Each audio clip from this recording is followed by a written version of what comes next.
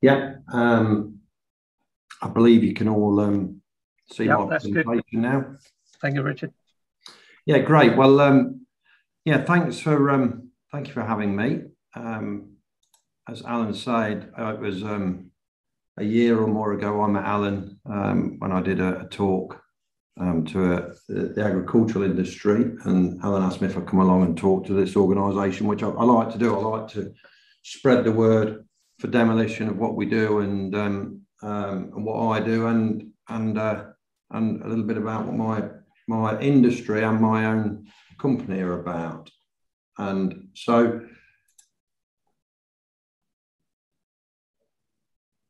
just yeah, great. So a, a very little bit about me and my organisation.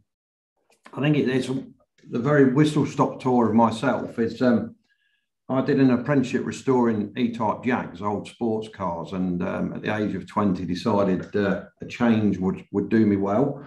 And um, with uh, my father guaranteeing me a loan, I went out and I bought a JCB digger with, um, with no experience whatsoever and uh, managed to build myself a hire round up. And very, very quickly, um, things, things changed. And a few years in, one of my good customers asked me if I could uh, knock down a fuel station because he was going to build some houses. And uh, I thought, yeah, why not? I can do that. And uh, I would say that naivety and youth were on my side. Um, and I, I, knocked the fuel station down. Um, knowing what I know now, I think I broke every rule in the book um, from all sides of things.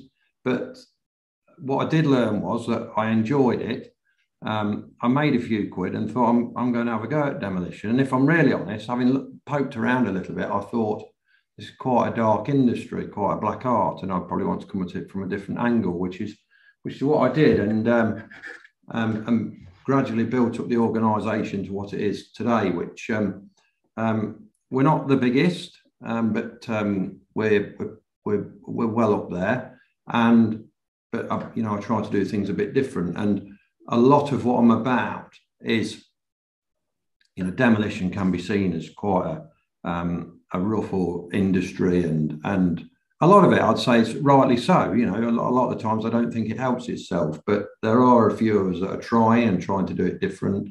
And um, I'm very involved with the Institute of Demolition Engineers. Um, I, I, sit on the Council of Management. In fact, I'm currently the president of it at the moment. Um, and some and things I've, I've got involved in things such as um, it's I can't believe it's six years ago now. A few of us said, you know, we should have raised, raised professionalism of demolition and the academic side, and we we came up with um, a foundation degree and a master's degree. And funnily enough, um, delayed due to the coronavirus, we have our first foundation degree graduation on Friday, which I'm really excited about at one of our seminars. So that's great. And the, the master's degrees there as well, which we help develop. And uh, at the end of helping develop the master's degree, who we, we do in collaboration with Wolverhampton University, I asked um, Wolverhampton University if um, they give me an honorary degree, which they said, no, if you want it, you've got to do it.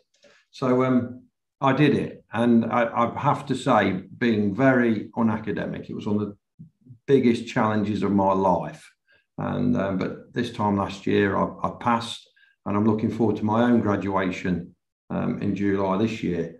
Um, and then, then, as I say, raising competency levels. It's all about that education, different qualifications, pushing that, and and something that I'm very, very passionate about is sharing lessons learned. One of my current challenges, which I'm trying to do, is trying to get a lesson learned forum going for to share a best practice, but also to share when things when things go wrong. So in in um, in January last year, um, we had one of our demolition rigs drop through a basement, um, which you know quite a lot of people would be, oh my goodness, this has gone terribly wrong, and, and we had nobody nobody hurt, or you know even if we did, my my tact is we should share what what we learned from it, what what you know what we could have perhaps done better, and hopefully by sharing, help the industry along.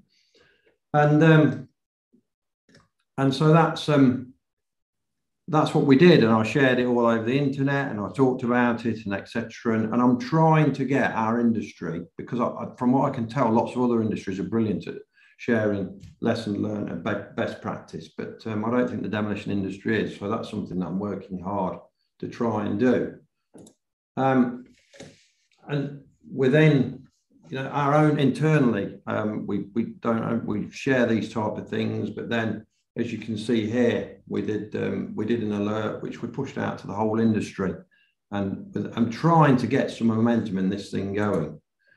Um, and I mean, our lessons learned to come out of it. I won't I won't bore you with all of the um, all of the detail, but we came up with a flow chart and things to do and not to do to try and get to us because to have a, a, demolition machine not go through a void is an incredibly difficult thing if there's a void there because how do you know if the void's there or not and it was a, it was a, one of the most challenging uh, incidents for us to learn from to try and get better practice.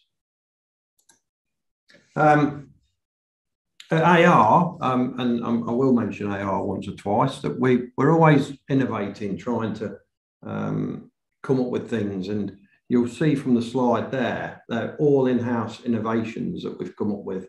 Um, the, the top left is a, a dust suppression unit, which when you buy these things, traditionally they're ground mounted.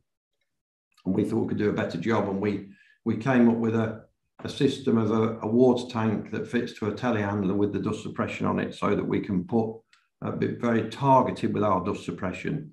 Uses a little amount of water. And when it does run out, changing the water tanks just like a cassette.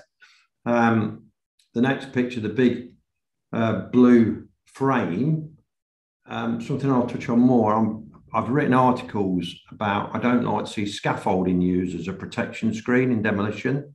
So we've tried to come up with something more industrial, um, more designed approach, which has been very successful for us. Uh, the top right hand corner, rather than continuously hire cranes, that's actually on the eighth floor of a building in Leicester as we speak. We designed and built our own crane for lifting plants between floors. And um, and then the, the bottom right hand one is just something as simple as we built a test rig in our workshop for testing and repairing our attachments rather than trying to manually, well, not you won't manually handle those, but roll them around the workshop with a forklift. So we're always trying. So moving into demolition itself, a lot of you will be aware, a lot won't, but generally we, we have demolition, um, deconstruction and more and more now um, decommissioning. So where we're cleaning tanks and vessels and pipework and that type of thing. Um, the techniques, everybody asks me about explosives demolition. Very rarely is explosive used. It's a, it's a last resort type thing for me. Um, uh, wrecking balls, I've never seen a wrecking ball work in my life, believe it or not. Um, high reach demolition is something we do a lot of more and more remote controlled. Top down is terminology that we use if we're going to almost reverse build something. Um, uh, so just, just as it was put up, but try and do it in reverse. And then sometimes we get involved in hydro demolition using high powered water. And then hand demolition, which is part of the, the reverse process. Um, from a client point of view, I think it's important and, and you know engagement with a good contractor. Um, we have some amazing clients that with a good attitude and a good good approach that talk to us about our competencies and our resources, our previous experience, and our our accreditations. This is an important one really because um, a lot of time people are just looking at the bottom line with price and you know, which is is not always the way. I mean, you know, as we know, as um, or that it, a client is responsible for employing a competent contractor, and I, and I don't want to make you know this thing completely about AR. When somebody's um, employing a demolition contractor or another trade, you know, they, they should be looking for all of these skills. Um, this can be a controversial slide because um, CDM versus demolition. I sometimes wonder, does CDM fit demolition? I actually think we should, um, I mean, you know, it's the clues in the title, of construction. Um, and I, I, think that we should have our own set of regulations. I've talked to the HSE about it. I don't know whether it'll ever come. Um, but the problem that we often get is we often find ourselves working in an arena with people that don't fully understand our trade. And, you know, we, a principal designer that means well or a main contractor. And it, just sometimes it just doesn't feel like it gels as it should do because, you know, we're a skill in our own right. And, and then even at the design stage, design for demolition, a, a question is, should we be designing structures to be taken down again, or, or even talking to a demolition contractor at the, at the design of a structure about what materials are going to go into it. Because, you know, with the, the modern focus on circular economy, I believe we have something to offer at design stage um, when, when structures are designed. Um, just a, a few of the um, codes of practice guidance that we work to. Um, the British the British Standard 6187, well, you can see now it's coming up to uh, 11 years old, so ready for an upgrade. Um, National Federation of Demolition Contractors, they uh, produce a lot of a lot of guidance, which is all available on their website. Um, and then, and then moving back towards a, a project itself, key considerations, uh, planning, you know, stakeholder liaison as early as possible if you're involved in a demolition project, talking to all the stakeholders, whoever they might be, whether it's um, neighbouring properties, people involved in the process, people that are carrying on on a site after the demolition contractor. It's all incredibly important. Um, and then things as simple as services and road closures and footpath closures, things that people often think about last minute, but these are the things that need to be thought about very early on, along with um, an asbestos survey. Um, a lot of people um, leave that till late on, where it's an incredibly part, important part of the process. And then the actual operational planning when we land on site is are people, you know, um, uh, people uh, that have the right competencies. Method selection. Quite often, a, a, method can be driven by cost, and people are, are scared to change the method. And you know, is there a mechanism put in place for that? exclusion zones. I always campaign for as large an exclusion zone as possible. In, in the mo modern world, we're asked almost to take a structure down with a tiny exclusion zone and not interfere with anybody else's day-to-day life. Is that a good or a bad thing? And you know, I, I had a, a, a project once where an HSE officer was involved at the start, and the client was saying, Yeah, we've told the demolition contractor this is what they must do, and this is the area they've got. And the HSE officer was brilliant. He said, At what point did you ask the demolition contractor what exclusion zone he needs to do the job safely? And you know, that's the sort of road I think we should be down. Temporary works is a huge, huge thing in our industry now, is, is understanding the temporary works of all the, the things like um, all the equipment and things we use, but also the temporary state of a structure when we start work on it. Logistics, we, we traditionally move incredibly um, large pieces of equipment around and we can be moving a lot of materials as we clear a site. And welfare, would you believe that only a, a, a few years ago, we'd quite often hear the words uh, when we talk to a, a, main contractor about welfare. Um, what, what we're doing for welfare? Well, uh, we're not going to bother until you've cleared the site. and and you know that that's quite a that was quite a commonplace thing. Whereas welfare is a big deal to everybody from the first day. Um, and then environmental controls is what are we doing to protect the environment? And a lot of that can be monitoring or actual control measures. And then social value is a, is a huge one, um, where we quite often engage with local communities or schools um, and, and anybody that wants to get interested. There's lots of different things that we do, which I will talk on more as the presentation moves on. Um, so I'm, I'm, going to flash you through a project that we did. One that was, was, a few years ago that we did it now in Nottingham, the Broadmarsh um, shopping centre, uh, sorry, car park next to the shopping centre, which had an incredible amount of constraints, which I will talk you through. I do have a um, quick time lapse, which I will show you first.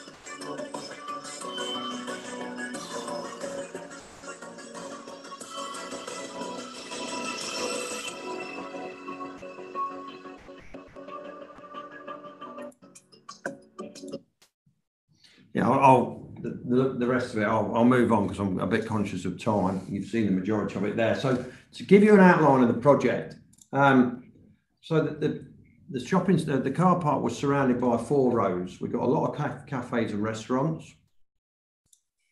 Uh, the, uh, the law courts were across one side of the road.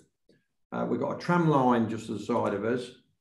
The Nottingham Inner Ring Road wrapping round of us. Um, the where it's, it's just flashed up bridge. The shopping centre is to the right of the screen, the car park to the left. The piece of roadway in the middle, the whole lot was elevated, was actually a bridge between the two. There was some underground shops in one corner of the, the car park. Uh, link bridge from the shopping centre to the car park, the shopping centre, solicitor's office on the far side, another link bridge, um, so you can see we've got a lot to deal with. On top of that, there was a district heating main running underneath the structure, a fibre optic um, uh, BT cable, and uh, live electric as well. And these are all the things that we had to deal with and plan for. So you can imagine there was a, a huge amount of planning in this project. Uh, there's a multiple stakeholders. Um, obviously, we've got the client, was which was Nottingham City Council. Um, and also intu were involved, the people that operated the shopping centre. We um, and then many consultants as well, and and a lot of HSE involvement.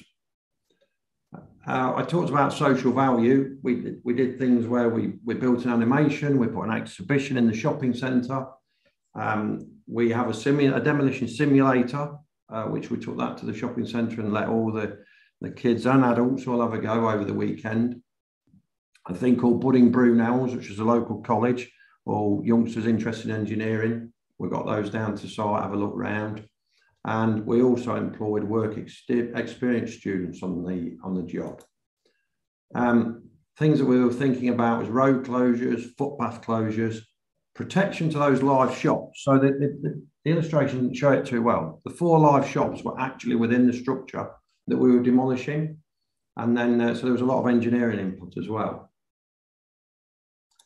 Just to pick up on um, services, we, we noticed from our own stats that uh, services are our, our biggest amount of incidents. You can see from that chart there. Um, we record all of our incidents in great detail and we look at things. And so whenever we're on a project like this, services are the one thing that, well, one of the things that we look at in, uh, in huge detail. Um, and uh, this is actually year uh, last year that this uh, information is from. So again, surveys, the amount of surveys that we do on a job like this, we do the demolition survey known as an R&D, a refurbishment and demolition survey uh, for the asbestos. We do a structural survey and there were some party walls involved. So we did some uh, party wall surveys. Um, operational planning, trying to get our team together uh, to talk through the project Daily task briefings is an important part of what we do, and we involve everybody in that, from the senior management uh, all the way to everybody that's actually, um, and more importantly, operational on the site to make sure that everybody knows what they're doing. Um, competencies, a lot of people don't realise there are specific demolition competencies for site labourers through to um, plant operators and contracts managers, um, all umbrella by the CCDO scheme, um, which is something that I encourage people to look at. And then method selection and planning. So trying to do this at tender stage, also with an eye on things that might change. Things do change with demolition, and you, will see a little bit later in the presentation, which I'll talk you through, which I think is really important, something to think about from a safety and, and um, project delivery point of view.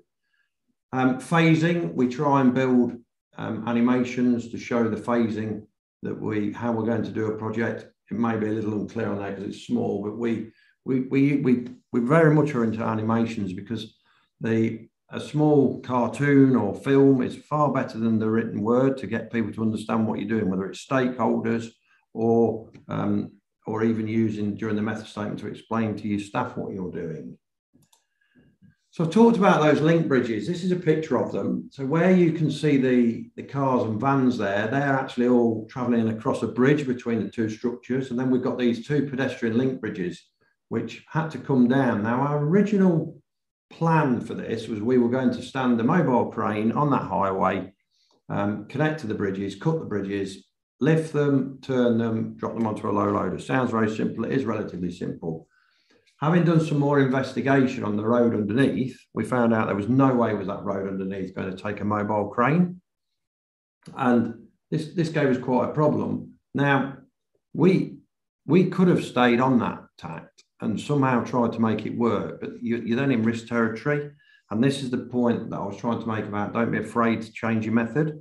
And we talked with the client about this project and said that, you know, it's demolition, there might be change. And we put ourselves in a position where during the tender process, um, we've made allowances for change because if you don't, if you're contracted in and you've not got change and something changes, you, you are in a world where things can go horribly wrong.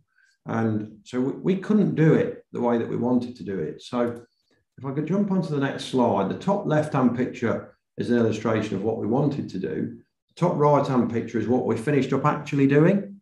So we, we demolished three quarters of the car park. We left those two corners up with the um, with the link bridges going from each, and we stood a crane on the footprint of where some of the car park was. Now, the crane was um, now um, um a 1,000 ton crane, so you can imagine commercially things changed. And the logistics of getting the crane there were massive. It's called the Broadmarsh Car Park because it's sat on a marsh. So the, the, the, temporary works that we had to do to get the crane in were enormous and to, and to, and to um, plan and construct the base for it.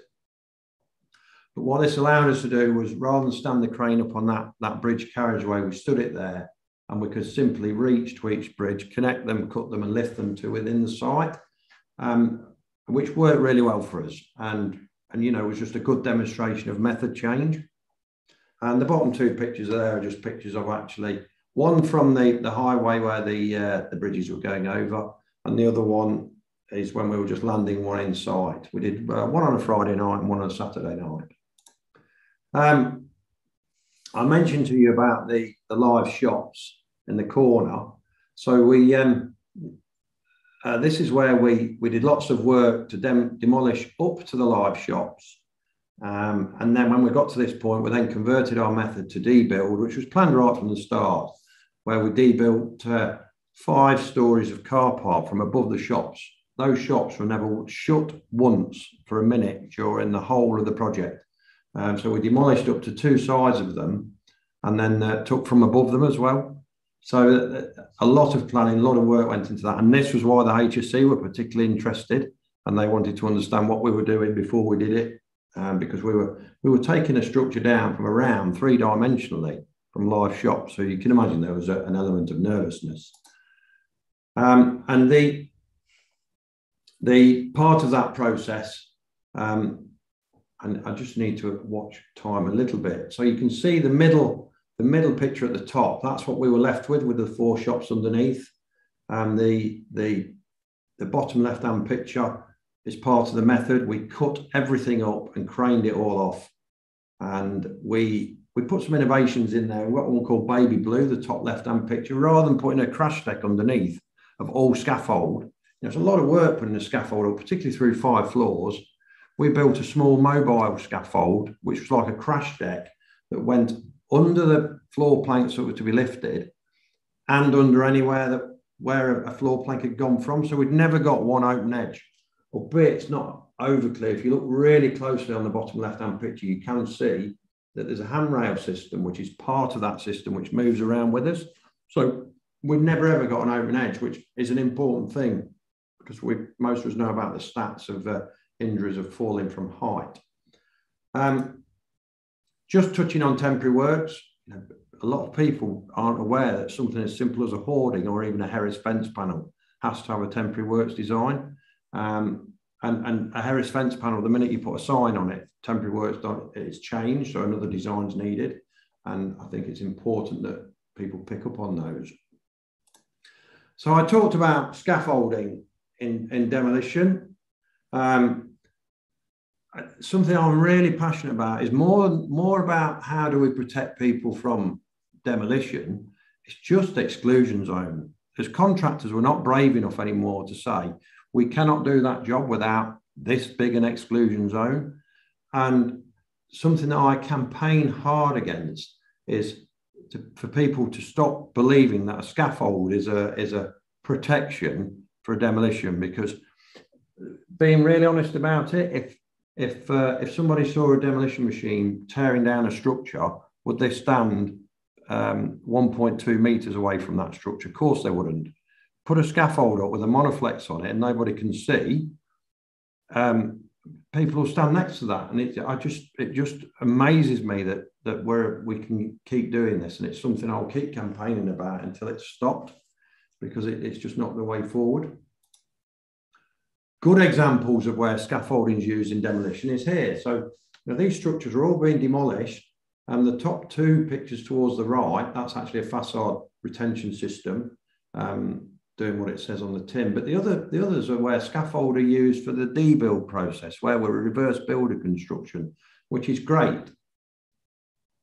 Um, and as I mentioned to you, we built the debris frame. This is the Broadmarsh car park again. Um, we know this is big blue. It, it, we can build it up to um, uh, 16 meters tall. It's a very industrial structure with a 50 mil um, timber face on it. And the, the, way it works is with quite a lot of kentledge in the bottom of it. And we've done some designs and it can take incredible forces of flying debris or even partial collapses. Um, and, you know, and it's very easy to move as well. Again, just to talk about the, the, the things that we often go into without going into huge detail. So when we were doing the car park, the whole car park had got precast concrete panels hung on the outside of it. And on three elevations, we had to take every single panel off before we did the demolition because we were worried about them falling onto the services we talked about and that sort of thing. And you then get into the world of, well, how are we going to lift the panel? How are we going to fasten to the panel? We put um, a lifting eyes in every single panel but you can't just bolt a lifting eye in. You've got to prove that the lifting eye is not going to come out. So every lifting eye we put in, the bottom middle picture there is doing a, a, a, pull test on the lifting on the on the um, the socket that we put in to put the lifting eye in. And we did that with several hundred hundred panels before we lift them down. Um, just a very quick slide. That was this was an illustration of all the different panels, the different weights, um, the sequence, how we temporary temporary fasten some, and what the lifting eye arrangements would be. Um, as, a, as a business, we our preferred role in demolition, if we can, we like to be principal contractor. We, we really like to be principal contractor because we've got good control of the site. Um, if we ever find ourselves in the subcontractor position, we're often treated like the, the poor relation, and um, it can be annoying sometimes because we have people that don't understand our industry sometimes dictating to us that it's it's you've got to do it like this, you've got to do it like that, and probably not asking the right questions. Um, and, and things like welfare, you know, we, we like to put our own welfare on because to me, welfare is incredibly important. We're, we're expecting our, our guys to live out of there when they're not working. It should be clean, tidy, nice. And, um, and even the things that you hire, I don't think are, um, uh, are good enough these days. So we often um, we just use our own. Um, environmental controls. So dust is a is a really big one that you know we can we can monitor the dust. Uh, but um, something that we try to do is um, I, I mentioned earlier we make our own devices for dust control, which is something that we've we've improved on now. We've made different different ones, and we believe that we can control dust incredibly well now with the technology that we use. And it um, it was amusing. A um, a few years ago, the first time we spent quite a bit of money on um, um, dust control, how our competition perceived it, and uh, yet it actually it can give you a tender advantage if you do it really well. And you sit in a tender interview and you get asked how you're going to control dust. If you've got a good answer, you've all of a sudden leapfrogged up the uh, up the up the tendering tendering process a little bit. so I, I'm just going to show you a small video. There's no sound with this one. This is a bit of kit that we also built where we, um, the sort of device you can see there is ready available off the shelf. But again, we telehandler mounted it so we could get it around the site. We could be incredibly targeted with it rather than just having that, that device sat on the floor miles away from the demolition. We can get it right up there where it's all going on and, um, and, and control the dust really well. Um, vibration and noise monitoring is something that we do. And if we're breaking, you know, we set a threshold. If we break that, we look at what we can do to bring those um, those nuisances down to think about our neighbours. And then uh, waste management is is something that well, we find it pretty easy as demolition contractors. Ultimately, we're, we're, we're glorified bin men, aren't we? We'll just clear up everybody else's rubbish. So uh, we've learned how to get rid of waste well and do a good job of it. And one of my goals is to talk, like I said, to the construction industry, to the designers, how that we can design things better to produce less waste when we, the structure comes to the end of its life. Um, and then another project that I just wanted to touch on briefly was one that we did in Worcester a few years ago. It was a burnt down um, warehouse. And this was particularly interesting because let's turn on its head quite a lot of our our processes. The whole warehouse was burnt down. It was um, an asbestos cement roof structure. There was a lot of asbestos within the structure, and it, we were we were sort of looking at quite a few things. Fire damage. It was unsafe. The access. We weren't allowed to set foot in the structure at all anywhere. Um, so we did a lot of work with with drones. There were some adjoining structures. Um, there was no real information to what we got, no real information to what was in there that was fire damaged. Um, very badly damaged asbestos, no asbestos survey. Um, as you can see there, the weather was actually up against us with part of it, snowing, and uh, the location was in a very busy industrial estate. So we had to think about how we could do things a bit different, um, knowing that we've got a lot of asbestos in there and so what we did was we came up with lots of different scenarios of plans of work, how we could deal with it. Um, we involved the HSE straight away. Um, we involved a structural engineer very early. And uh, we, we controlled the conditions as best we could. And we employed some extra specialist competencies in a different way. Um, and one of the big things so we never, ever, ever do, do a demolition job without an asbestos survey first. We couldn't do this job. With, we couldn't put an asbestos surveyor in there. So we agreed with the HSE that we'd build a dynamic and retrospective asbestos survey. So we did the survey as we were doing the demolition. And what we did was we, we, we just employed a, a full-time permanent asbestos surveyor. And as we just inched through the structure, we built the survey, and the minute we came across something suspicious, we'd um, we we would then deal with that, and we'd we'd agreed with the HSE as well a way that we could um, deal with that, bypassing a lot of um, the what we have to do normally, which is a 14 day notification for the removal. And the HSE were to start with, they were very focused on the on the project, but as we proved it was working they, they left us to it more and more, which and it and it worked very well for a, a structure in such a bad temporary state. So a lot of the structure you can see there we brought down mechanically using our dust control equipment, using our, our machinery that we use, different types of attachments for cutting steel, sorting steel, and sorting materials out. Um, key people in, involved in the job was in, an Institute of Demolition Engineers member, which was myself, um, and uh, but the other one was um, introducing a full-time asbestos qualified asbestos manager because we were doing asbestos removal and demolition side by side all the way through the project. So we had to make sure that we got the competencies on site to do that. Um, we've got the structure gone. We all breathed a huge sigh of relief, thought, you know, really happy with how it had gone.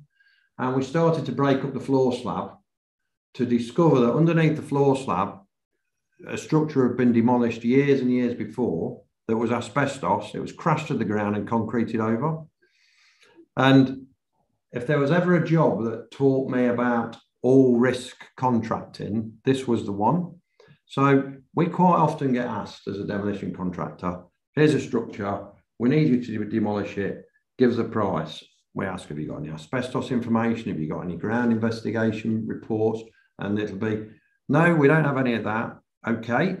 Um, well, we, we need to talk about how we're tendering this then. Well, we just want you to take it at all risk. If you find anything, it's your problem. And I actually did my, my dissertation on this very subject because I don't think people understand where the risk sits and who it sits with and the potential breaches of regulations by um, making somebody go in all risk. And uh, you'd need to read my dissertation to get it all. But the, the, the outcome was um, that the risk never, ever, ever comes away from whoever owns the site. And um, well, was my opinion, I should say. And and a job like this, so uh, this project was worth um, getting up towards a million pound to us, bef- a million pounds to us before we found this issue.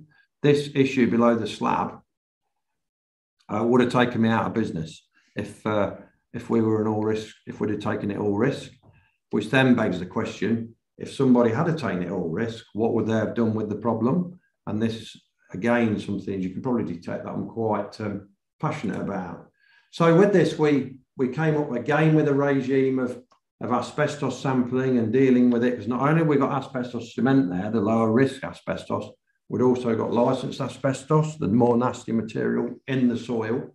So we had to carry on with the same um, approach as we did the building demolition. However, we, we also now had to employ ground investigation engineers so that we could deal with ground contamination, asbestos, and the removal. So, and, and that and its own, we got quite a process because of getting materials tested, dealt with, and removed. So that project, um, traditionally, we always recycle 98%. Um, that's actually coming down with modern structures, uh, which is which is another another subject altogether. But in brief, um, you know, we knocked down some very old structures that can be hundreds of years old, very easy to recycle. We now knock down structures that are 25 years old because they've been built with a, a design with a 25 year lifespan, which is wrong in its own right, that structures are only lasting 25 years now.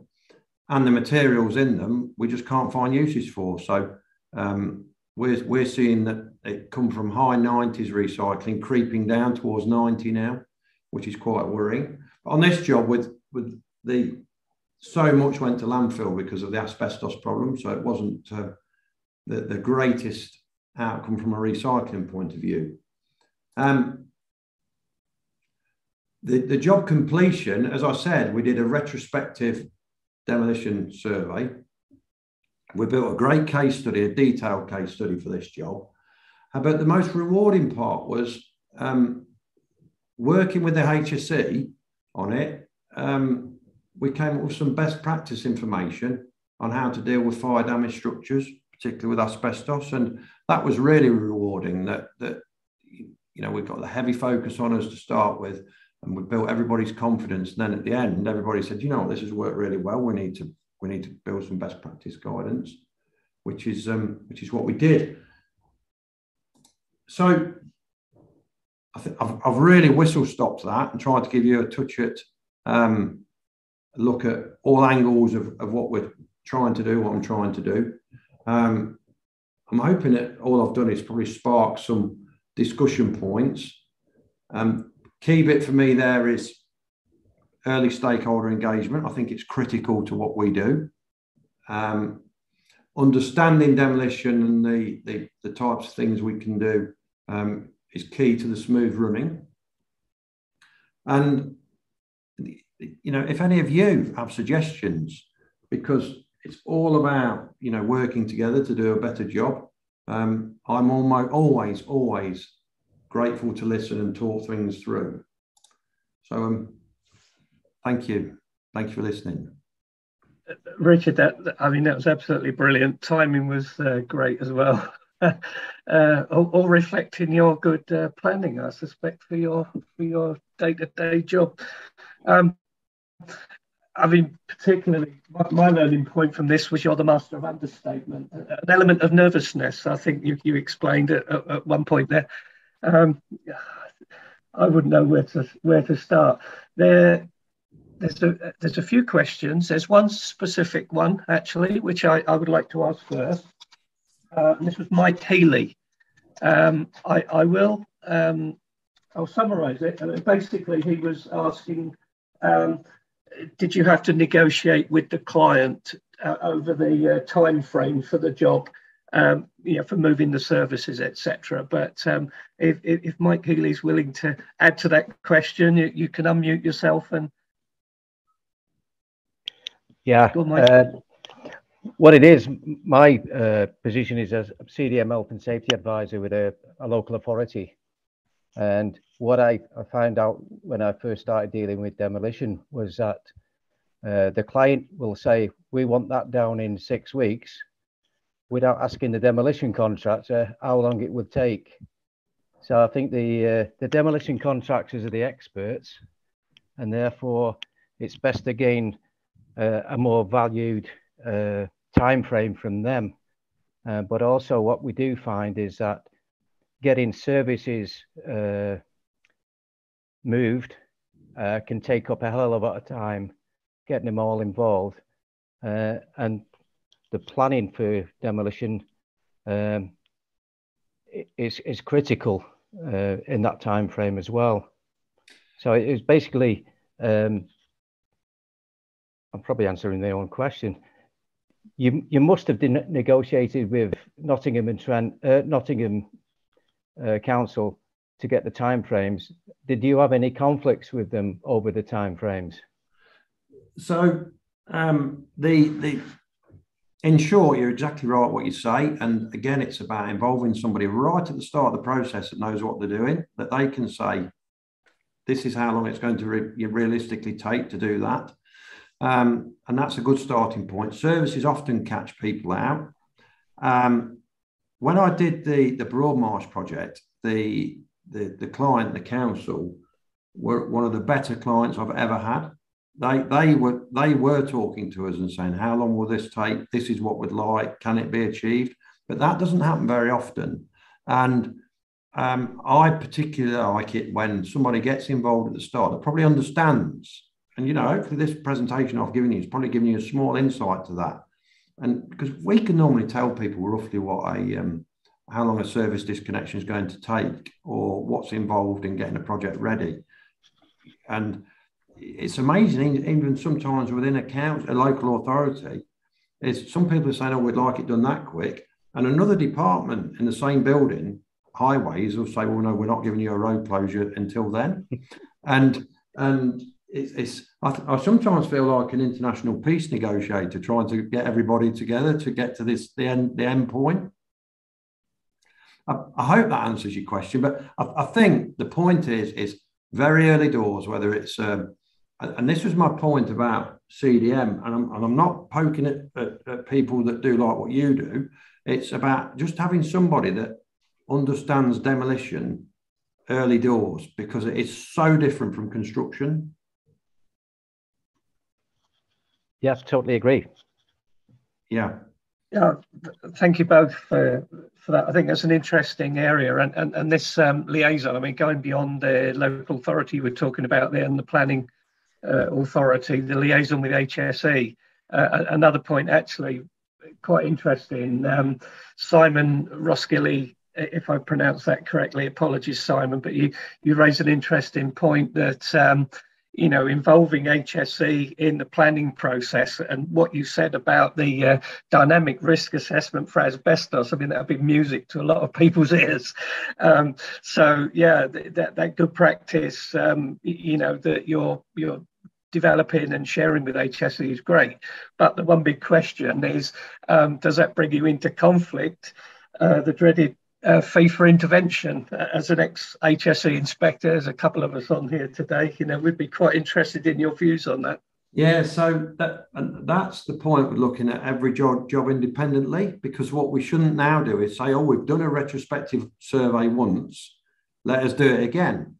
Only when the job allows it, and that's that's the point about staying professional, doing things properly. What is the best for the project? Um, in terms of sharing, actually, um, Jake, uh, I think it was, if if Jake's still with us, raised an interesting point, thinking, well, uh, you know, as you said, the industry isn't good at, at, sharing, and you know, there are other industries like that. My own agriculture, for example, as well. So, um, how, what can IOSH do? Uh, perhaps you know, through there's a lot of construction group members on here today. Um, is that an area for you to explore? There's already a couple of people on here said would like to speak to you, Mark Eden, for example, about transferring risk and so on. So it's something we, we would like to encourage and, and enable and, and help you and, and your institution. Yeah, what what what I'm trying to do is is get a best practice lessons learned forum going, which is partly online, you know, a website where somebody can put, look, this happened to us. They could put it up anonymously or they could put it up as, you know, who they are. Um, that needs to go through a gated system before it gets live online because you'll always get disgruntled employees, people with a grudge putting all manner of things up. And, and but the, the second, so somewhere where you can share lessons learned, but also so a forum where safety practitioners, um, industry practitioners can all get together and just discuss the time that the machine went through a basement, etc. And if if I can get that to get legs within the industry, it's something that I'm doing joint with the Institute of Demolition Engineers and uh, the National Federation of Demolition Contractors. I'm hoping that its tentacles will spread to organisations like yours, so that because it would be great if other parts of industry that yeah. are associated uh, with demolition. Um, yeah, hi, it's um, it's Alan here from uh, IJ Demolition. Um, um, joins up with us. I, I, could hear somebody else in the background there. Um, Michael McEwen might have his microphone on. I don't know, but it, it, whether that was a point to add, I, would like to bring in um, Judith, Judith King, uh, because you you had a point there that um, might help in terms of developing that relationship. Uh, do you mean Judith Ward? Because that's me. Yeah. Excellent. So I'm Judith Ward. So I actually sit on the Quality Thought Leadership in Constructing Excellence. Um, and we do have lots of partnerships and we are trying to join up lots of dots, but there are an awful lot of dots and it is very fragmented. Um, and to be honest, from my own personal, uh, I mean, I'm, I'm, I lead uh, the quality division at Mott MacDonald.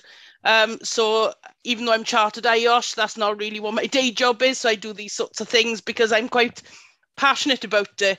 Um, but there are absolutely not enough hours in the day to support efforts in joining these things together. Um, so like-minded people, I quite like coming to these things to find my other passionate people and, and to try and move things forward. And the things about buried services, I did start a bit of a movement with Highways England and the Environment Agency United uh, in a previous life to try and develop the um, buried services, which became finally the Safe Dig Charter. But that took ages to actually get off the ground and get moving. Um, so I'm quite happy to be a maverick and trailblaze, but I, I just think we need somebody. I, I, I mean, I'm working very closely, and I am a, a IPA assessor, so I'm very keen to lobby at that sort of cabinet level, uh, cabinet office level to try and get somebody to grab the blinking nettle and actually move things forward in a, in a cohesive way. Um, I do think that our institutes are not necessarily set up. They seem to be in competition rather than in collaboration. And that's really worrying for me because I don't think we're going to make a step change in construction and infra. We'll have lots and lots and huge pockets of lessons learned and excellence um, but we're not going to have a coherent approach until we start collaborating a hell of a lot better. That's just my own. Per- that's a Jude viewpoint, not a Mott's viewpoint, by the way. I, I agree. so, so I think the challenge for us, which we won't explore now, but we'll take it offline. Uh, Chiltern today, tomorrow the world. people, yeah, and, and Judith, we, we, need to we need to uh, join that up. So um, if you could uh, email us and uh, communicate after the meeting, Judith, we'll we'll make sure you know, and through construction group as well. Unfortunately, Malcolm Shields, the uh, chair, couldn't be with us today to to um, lead the Q and A. But um, if there is anybody from construction group, if you could put your contact details in the uh, in the chat box so we can pick up on that, that that would be helpful to share. I think. Um, conscious of time, um, you know, we, we aim to finish around 4.15, but uh, I think there's a few useful points that we should still pursue. Um, I've got a, a, comment here from uh, John Crossan. Uh, hi, Richard. Do you think the development of um, AI and 3D modeling remote operate remote operating will be embraced by the demolition industry? You know, we've heard it's, it's taken off from the design and build side of things. Um, what about demolition? Yeah, absolutely, absolutely. It's you know we've we've been using 4D modeling for quite a long time now, um, where we where we try and do an animation of of how we believe a project is going to go because it's so much easier to demonstrate to any stakeholders how we intend to do it. Um, and there is software available that can predict, um, particularly if you're going to do something like blaster structure using explosives, can predict how it's going to fall, where it's going to go. And um, from what I've seen, that the the prediction and the actual put together of marry up quite well. Um, so it's it's just something the, the the digital era is something that I think we need to be pushing very hard and keep going. I do think there is a massive, massive future for it. And, and going back to the, the, the digital area with um, with BIM, that information to us, if it all goes as well as planned, is going to be absolutely golden for us when somebody gives us a, a file and says, there's all the detail of that structure. Because one of the, the huge, huge challenges with demolition is we're dealing with something that we don't know. We don't know how heavy something is. We've got experience and we've got engineers, but you still never know how heavy something is until it's hanging on the crane of a hook or you know you, you, that's just a very basic example but if you're building a new bridge that you're going to lift up you design it you think you know how heavy it is it's sitting on the floor you put it on a crane you go to lift it you think oh the crane's not quite big enough for this. Is if somebody's got it really wrong. In the world that we're in it, it's too late to find out the crane's not big enough when you've when you've when you've cut it, and mm. so you know stored information and artificial intelligence and animations and modeling and virtual reality, I can see going massive in our industry. Yeah, that, that's um, an interesting point. We've had a couple of questions really sort of bring that in about the CDM role principal uh, contractor and so on, and, and, and, where you fit in that. Um, I did touch on that earlier. I'm just trying to scroll through here uh, and having a job. Fran, where are you, Fran? Are you still with us? You missed the beginning, I think. Fran Watkins? Uh, missed the beginning. Do you see yourselves as taking the principal designer as well as contractor role as being good practice? Um, yeah, well, we've done it on several occasions, so I'd have to say yes, we have we have done that. So, and it you know it works very well.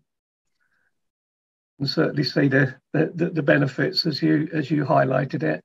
Yeah, and, and, and probably to just elaborate, I have no problem with with with constructive challenge because constructive challenge can stop a mistake. And um, I, I, I, very much don't want to sound like that other people involved is a negative. I just quite often think the wrong people are involved, which can be a double negative. Yeah. Um, one of my colleagues, Tim, thanks, has just pointed out that Beverly Rouse has had a hand up for a while. I, I can't see everybody on the screen. I was too busy looking at all the chat and the questions and say what an excellent presentation it's been. But um, hopefully Beverly's still with us. If you want to make your point, you're more than welcome.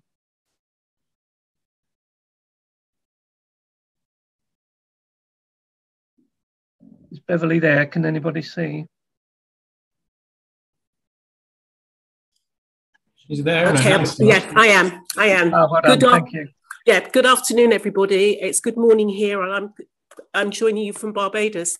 And the presentation, excellent and very valuable because I represent the construction sector here in Barbados on the board of NACOSH. The question I really wanted to ask was more a domestic question, and that is when you go into face to face meetings, will people overseas have the opportunity to still have access to these valuable um, IOSH webinars? And that was more for you, Alan, than for Richard. Oh, I, I, mean, I think we should do more of this and joined up between uh, groups and industry groups. Um, you know, in terms of your your particular angle, um, from the uh, rural industries group perspective, which I was involved with before, you know, I think that's a benefit to members. Um, and uh, I, I, don't know whether any of my colleagues on, on the committee would have anything to add to that. I don't mind answering the question. Yeah, uh, so we want to have more face-to-face meetings, but really that's going to be based on local engagement. If we have lots of people that want these face-to-face meetings, we'll start having them, but in no way are we stopping webinars. It's clear that this has been a great way to engage with people on a much wider field including, as you say, people from Barbados. We've got quite a lot of international people coming on onto them. So no, the, most of them will still be webinars with the occasional face-to-face mixed in, depending on how much interest there is. Excellent, thank you. And, and I was going to say the long distance award went to Kurt Cadet out in Trinidad, but I'm, I'm not sure my geography in that part of the world isn't very good. Hello, Kurt. Thanks for waving. Uh, but uh, yeah, we, have got people from, from from all over the place, and Kurt was even a committee member, and Tim's over in Sweden himself. So yeah, you know that's something we want to encourage. We'll keep that going. Obviously, uh, IOSH is is looking at its structure. We don't know what will pan out from that from the discussion, but it's quite clear that you know we've got to carry on in this um, hybrid world. Um, our face-to-face meeting it we feel guilty is excluding so many people, but equally, a lot said they want to meet us face to face. And our challenge now is actually getting people to honour that um, that request and build up numbers. And uh, you know, we'll, we'll, remind you just when we wrap the meeting up. Um, th- there's a couple of others, still some technical questions. I'm conscious we just passed quarter past, people are leaving. Uh, do you agree using a hydraulic crusher with long boom um, unable to cut the reinforcement in the RC. My apologies. Uh, and in this connection, oh dear, screw. Uh, yeah, Alan, I can I can help with that. Can you read it, please? Yeah. So the, so um, uh, Charles is basically asking if um, if there's a there's a reinforced concrete beam and we use um, a, an excavator, a high rig, well, a demolition rig, a high reach demolition rig with a concrete crusher on the end to crush the, the concrete, um, then you know it's inevitable that you might have to send somebody up to cut the rebar. So technology has moved on now. So we, we have several different options. We now have concrete crushers um, that as um, in, in the in the you've got the jaw that crushes the concrete in the back of the jaw now there's there are metal shears in there so you can crush the concrete engage more onto it, and then the, the, in the back of the jaw, jaw cut the rebar.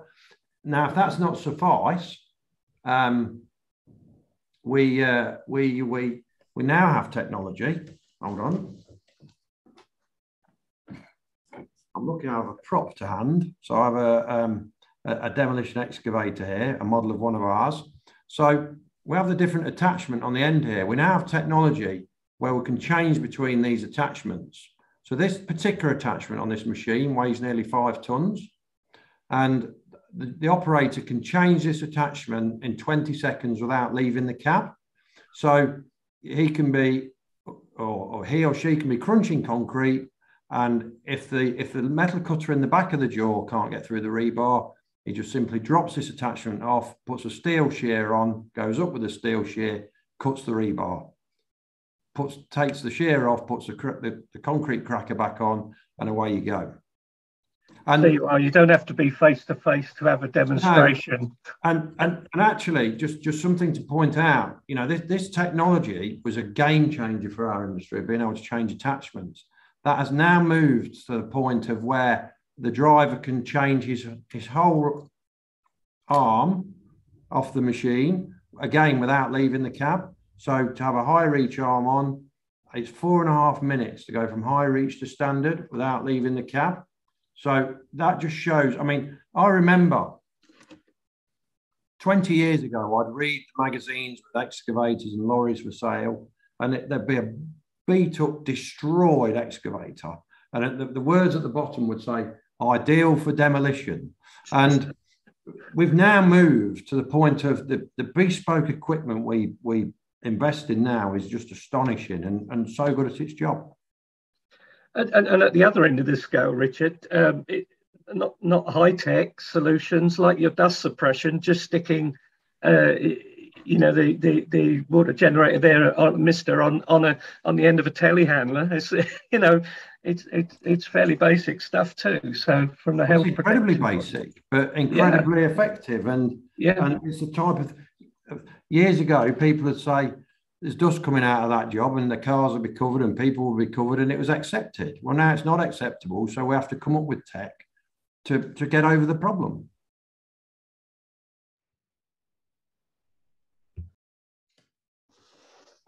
Uh, well, this is two other volunteers um, while, while Alan's frozen. Um, were there any other questions from the members? As a brief open floor before we wrap up. So I see I see somebody's asked about if if the models are available commercially, and, and, says that for I promise. But uh, you, there's a whole movement of model collectors, um, massive industry, and people can make what you want. Um, we have those commissioned, but you pretty much can get them commercially if you look around on the internet. Well, if there's uh, if there's no other questions, thank you very much, Richard. It was very informative and very interesting. It sounds to me like deconstruction may be as difficult, if not more difficult, than construction uh, in many different ways because of all the parameters. Uh, you're certainly very constricted by many different um, parameters in terms of taking down shops on top of shops in a building next to a main circular road in Nottingham, because I know the Broadmarsh quite well. That was an amazing contract, and thank you very much for sharing what you did in it. Yeah, my absolute pleasure. And and and and that is the point. It everybody is is in their world. Um, it's technical, but we've we've moved away from that. Just smash it up, and it is very technical and very challenging. And and and I, I campaign for people understanding that. Yeah, the, the days of Fred Dibnah blowing things up are perhaps gone. I, I, think he'd be in prison if he did what he did while he did it there. much as they're nice to watch. Yeah, yeah oh, okay, exactly. Well, yeah. Thank you very much, Richard. Thank you very much, everyone, for attending. It's been a, a successful branch meeting for us. I posted a link as well with regards to that question about um, watching the branch meetings. Uh, all of our branches put on um, different shows, uh, presentations uh, up and down the country and all over the world. Um, but that link, it's a little bit embedded in the central IOSH um, uh, website. But if you follow that link, uh, literally have a look every now and again, you'll see all the different webinars up and coming. Um, but you do have to be a member to get the link sent to you, I believe. So just, uh, just yeah, follow that link I sent, and um, you'll you'll have all the webinars as well as, of course, the IOSH formal webinars as well. Alan's back. Yeah, sorry about that, Tim. My, my I've had um, terrible internet the last few days since the storm. I think. Um, yeah, I, I don't know how far how far you got, but uh, I was sharing this slide. That's what I intended to do. Have you managed to speak about that? No, no. No, no, I was um, just thanking Richard uh, and everyone being here and highlighting the link that gets people to be able to watch things like this for free without being a member. Yeah, absolutely. And uh, yeah, as you said, the information's on the recording will be on YouTube. Richard kindly agreed to share that and his PowerPoint. I mean, there's so many good things we need to uh, behind the scenes bring some of this together. We will capture all of the uh, the chat as well. Um, I know uh, Jane get a name. Uh, sorry, Judith. I got that bit wrong. Judith Ward uh, has agreed to um, you know follow this up. Um, with Richard as well, so we'll do what we can, Richard, um, with our with our colleagues in, in, the construction group, and we'll have some discussion with them uh, for sure. So just looking forward, um, the meeting on March the 1st, you know, this was in response to members saying they wanted face to face, but uh, we'd love to see more than have currently signed up. So if you certainly can make it on the day, uh, you know, wherever you're from, but um, we'd, we'd, we'd love to see you. It's a great opportunity. Uh, to talk about you know future technology as well as um, where we are with catch the wave and so on. Um, in April, we're going to be looking at recruitment, uh, and and obviously what we can do to help others about preparing for the you know for your future jobs. It's our AGM as well, uh, so that's when the new committee will um, be up and running. Uh, but please sign up by March the 1st. Uh, myself, I'm, I'm, afraid I will be standing down, but uh, still involved with the committee. It's a great committee, good fun. Uh, and uh, we've been meeting virtually. It'd be nice to see each other face to face. Although, Tim, we won't be seeing you, sadly, uh, and Kurt from distant, distant lands. Um, in May, we'll be talking about driving safety. that's on the road. we're just developing that one uh, and um, June progressing through the IOSH grades. But for me, what I look forward to is, is our summer school, those who followed us, and our numbers grew immensely last summer when we did our back to basics. Uh, there is inevitably still a call for this. And so the basics are back, B2, B2. Uh, our summer school will come up with about six virtual sessions. We'll be filling in some of the gaps that we didn't cover last summer. So watch this space. Follow us on LinkedIn and uh, other social media are available. I'll, I'll, show a slide on that in a minute.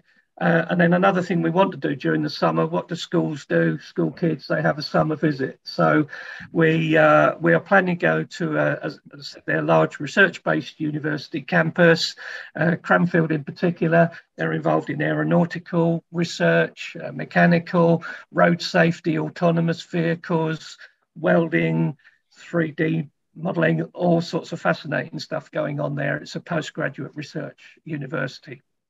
So, uh, and then in the towards the end of the year, Q4, 4Q, however you want to say, academic presentations from university students. Again, we're looking to develop our relationship with people coming into the industry and encourage people to come into, uh, you know, into our, our role to become uh, health and safety professionals. Uh, we'll have our usual legal update as well, and uh, hopefully an end of year branch event. And who knows, that might even be face to face with a bit of luck. Uh, I know the question was asked about these meetings uh, where we can uh, project and involve, uh, you know, project the speakers' presentations and involve others. that does depend on the venue and getting the, the, the the uh, equipment, the IT equipment necessary to do that. But yeah, we'd, we'd love to see you all and to uh, keep encouraging uh, involvement and support for our branch. And meanwhile, you can engage with us uh, plenty of different ways, obviously through um, through the social media, LinkedIn in particular. Uh, we, we've got uh, plenty of members on there now. Is it over a thousand? I think. Did we reach that target? Um, Twitter as well. We're around 750 members on there. Um, I think you've already mentioned Tim. You can you can uh, access our pre, all of our previous meetings through our recent events page on our Chiltern microsite, um, and and the slides, recordings, chats, all of those things are available.